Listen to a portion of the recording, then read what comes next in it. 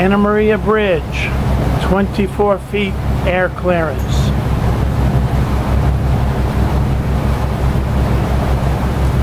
We're only about 15 feet.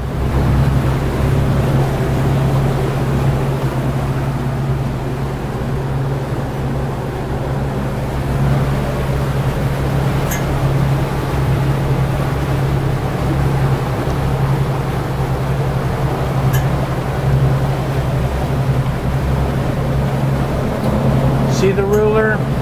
20 plus four more feet at center.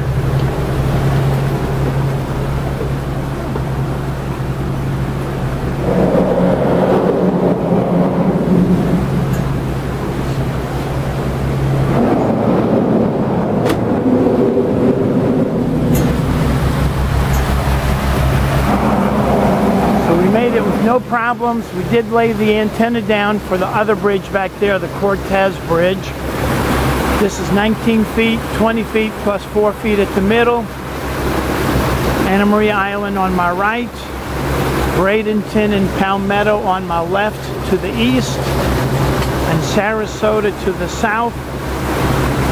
And Tampa Bay to my north and you may be able to see the Sunshine Skyway Bridge.